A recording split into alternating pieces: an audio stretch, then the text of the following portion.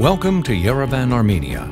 With Mount Ararat looming in the distance, this capital city is home to Black & Veatch, serving the U.S. Department of Defense Defense Threat Reduction Agency. As a result of the agency's funding of the U.S.-Armenia Cooperative Biological Engagement Program, the Armenian Ministry of Health can now reliably analyze and confirm anthrax outbreaks in a matter of hours. Black & Veatch was given the task of purchasing, installing and training technicians on the new infectious disease diagnostic equipment. Within weeks of installation, reports of patients with symptoms resembling anthrax put the new equipment to the test.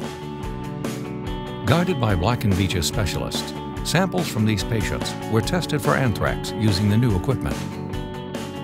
If you envision the possibility of an outbreak of a dangerous infectious disease, you can talk about millions of people potentially benefiting from our work. In Armenia today, new diagnostics laboratory equipment and expertise combine to create a safer world by combating bioterrorism and the proliferation of biological weapons.